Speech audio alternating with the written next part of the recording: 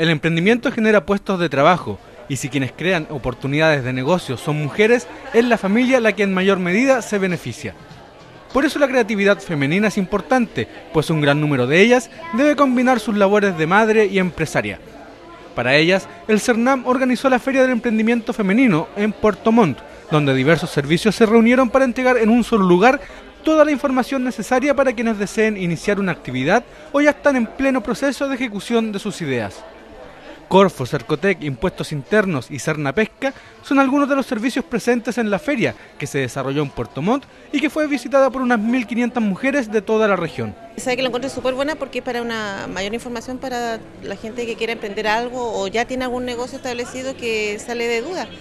Pero lo que me faltó acá es la municipalidad porque es como un puente para empezar a trabajar en comercio, sobre todo en esto. Sí, tengo un emprendimiento de pastelería, pero no está formalizado, entonces por eso estaba preguntando lo que es parte de salud y en impuesto interno.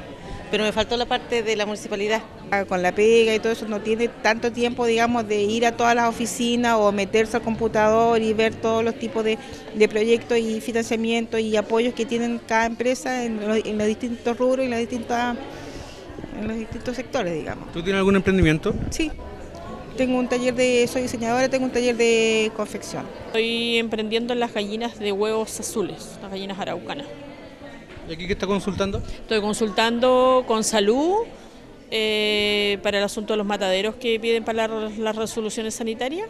Entonces ya por lo menos tengo toda la información, qué es lo que puedo hacer y qué es lo que los limitantes que hay también. La iniciativa organizada por CERNAM busca ser un punto de encuentro para las mujeres que aportan al desarrollo del país, a través de la creatividad innovadora, idea que destacan los organizadores, que además tuvieron la oportunidad de difundir el Fondo de Emprendimiento Femenino. Pero nosotros en el CERNAM tenemos eh, un fondo concursable que financia hasta máximo un millón y medio de pesos para emprendimiento.